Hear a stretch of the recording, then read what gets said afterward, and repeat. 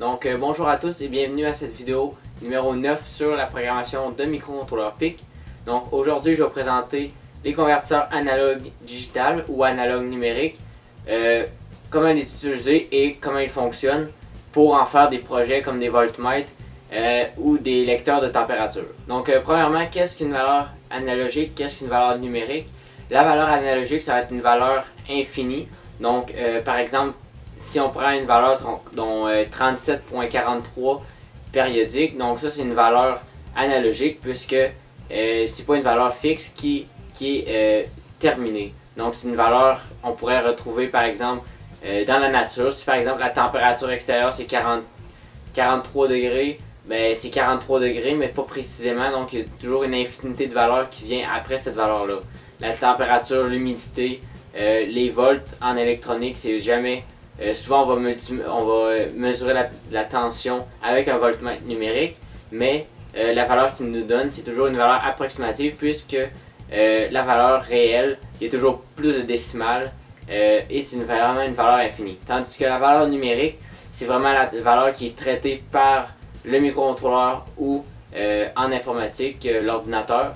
Donc, c'est une valeur qui est à partir de 0 et de 1, à partir du binaire. Donc à partir de là, on fait des valeurs numériques, euh, soit des chiffres entiers, ça peut être des chiffres à virgule, mais ça va toujours être euh, une approximation de la valeur analogique. Donc il faut savoir que certains microcontrôleurs PIC seulement ont des convertisseurs analogues digital.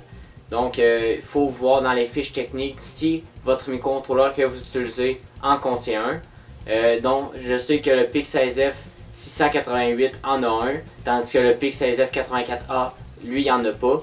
Donc, euh, si vous voulez faire des projets avec un, euh, avec un convertisseur analogue digital, veuillez regarder dans les fiches techniques avant de vous procurer le microcontrôleur, puisque c'est pas tous les microcontrôleurs qui ont des convertisseurs analogue digital d'intégrer euh, à l'interne. Donc, une fois que vous avez choisi votre microcontrôleur avec un convertisseur analogue digital, donc il reste à le programmer afin d'utiliser ce convertisseur analogue digital là à l'interne.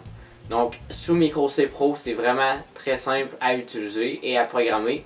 Donc, je vous conseille fortement d'utiliser Micro C Pro.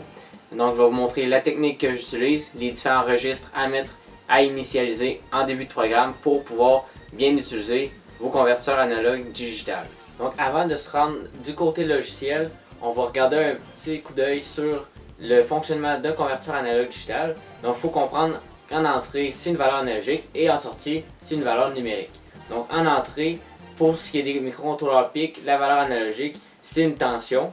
Et la tension, euh, c'est en volts. Donc la plupart du temps, c'est 0,5 volts pour la famille standard qui fonctionne sous 0,5 volts. On peut aussi les mettre sur, sur euh, autre voltage selon nos besoins. Donc en sortie, après ça, on va avoir la valeur numérique. Dans notre cas, à nous, euh, vu que c'est un, un, convertisseur analogue digital de 10 bits, on va avoir de 0 à 1023. Donc, euh, on a 1024 possibilités. Donc, si vous avez un convertisseur 8 bits, vous avez 256 possibilités. Et pour un 12 bits, vous avez 4096 possibilités. Donc, plus il y a de possibilités entre 0 et 5 volts, plus il va y avoir une grande précision. Donc, si vous faites un appareil, un voltmètre par exemple, de haute précision, vous allez avoir besoin d'un plus gros euh, euh, convertisseur analogue digital avec plus de bits pour avoir une meilleure résolution de votre appareil. Donc ensuite, il faut comprendre que cette valeur-là reste à l'interne du microcontrôleur et c'est à partir de là qu'on va programmer de façon logicielle euh, qu'est-ce qu'on veut faire avec cette valeur-là. Donc comme dans le projet qu'on va faire juste après l'explication, euh, vous voyez, vous allez voir que euh, j'utilise cette valeur-là pour allumer différentes LED à certains moments. Donc ensuite, il faut savoir que comme à l'entrée c'est une tension analogique, euh, c'est vraiment la tension qui va faire, varier la valeur numérique. Donc, il faut trouver des manières de faire varier cette tension-là.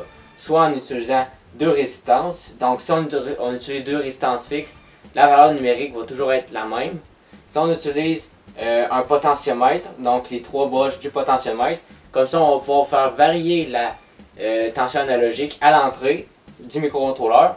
Et comme ça, on va faire varier la valeur numérique en sortie.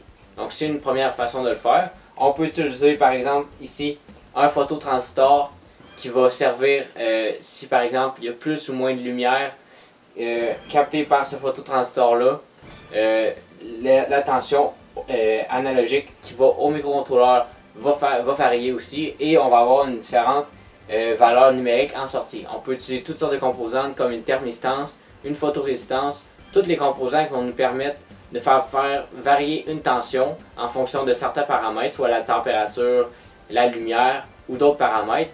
Et à ce moment-là, on pourra avoir une tension analogique et obtenir différents résultats en numérique. Donc, euh, il y a deux techniques pour initialiser euh, les paramètres initiaux de votre, euh, de votre converteur analogue digital en programmation. Donc, comme vous voyez juste ici à côté de moi, soit vous inscrivez ADC init, donc ça, ça va initialiser le converteur analogue digital euh, à l'interne de votre microcontrôleur. Donc, c'est une, fonction bien précise euh, qui est spécialement conçue sous Micro Pro.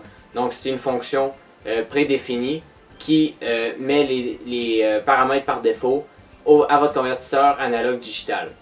Donc la deuxième technique, comme vous voyez apparaître à ce moment-ci, euh, c'est en, en utilisant les registres euh, ANSEL, donc Analog Select, donc le registre Analog Select. En modifiant ce registre-là, vous allez modifier les paramètres de votre convertisseur analogue digital et en modifiant le registre AD euh, CON, donc Analog Digital Control.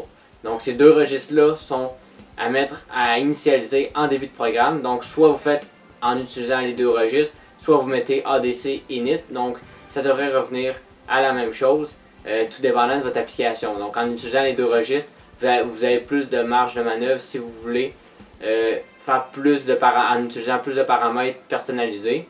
Mais si vous voulez simplement utiliser le convertisseur analogue digital euh, de base, vous pouvez marquer seulement ADC init et il va être initialisé avec les paramètres par défaut. Donc par la suite, c'est super simple. Il y a une fonction prédéfinie dans Micro C Pro, dans la librairie. Donc c'est super simple de lire une valeur analogique de votre microcontrôleur. Donc vous avez seulement à marquer, comme juste ici à côté de moi, ADC euh, read avec entre parenthèses le, chiffre en fait que euh, vous avez associé votre convertisseur analogue digital. Donc si vous associez à la pin par exemple AN0, vous marquez en parenthèse 0. Si vous prenez AN2, vous marquez euh, la, en parenthèse seulement 2. Donc à ce moment-là, le microcontrôleur va savoir qu'il va aller chercher à cette pin-là euh, la lecture de la conversion analogue digitale et va la transmettre dans une variable qui va être inscrite à gauche de votre égal. Donc de ce fait, il va lire la, valeur analogue digitale à l'entrée de la pin et il va la transmettre dans une valeur, dans une variable euh, dans votre programme. Et à ce moment-là, on peut utiliser la même variable pour faire différents calculs ou l'utiliser pour faire différentes actions. Donc euh, pour finir, on va faire un petit projet super simple qui, va assimiler toute la théorie sur les convertisseurs analogues digital qu'on a vu aujourd'hui.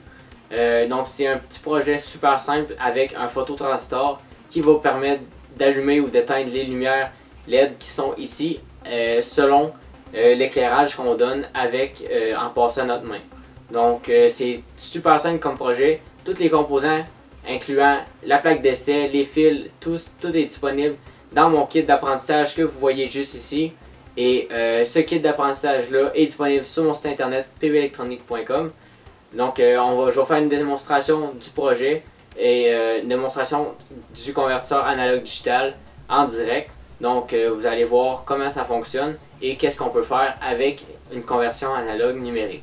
Donc le projet d'aujourd'hui c'est un projet super simple à réaliser.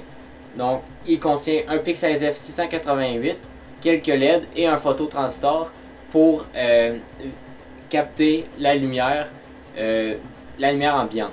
Donc ce projet-là est super facile à réaliser et il est super pratique pour comprendre la conversion analogue digitale des microcontrôleurs PIC.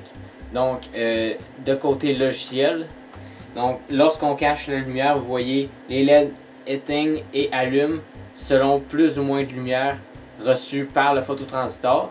Donc, le phototransistor est en série avec une résistance fixe de 10 kΩ et le fil blanc que vous voyez ici, euh, c'est une valeur analogique qui est envoyée au microcontrôleur PIC. Donc, par le fil qui passe ici, c'est une valeur de tension qui varie entre 0 et 5 volts. Donc, cette valeur de tension-là varie selon l'éclairement qu'on envoie euh, au phototransistor. Donc, pour plus de projets et plus de détails sur la conversion analogique numérique, euh, vous pouvez vous rendre sur mon site internet pbelectronique.com et euh, pour plus de projets, plus de schémas, allez aussi sur pbelectronique.com.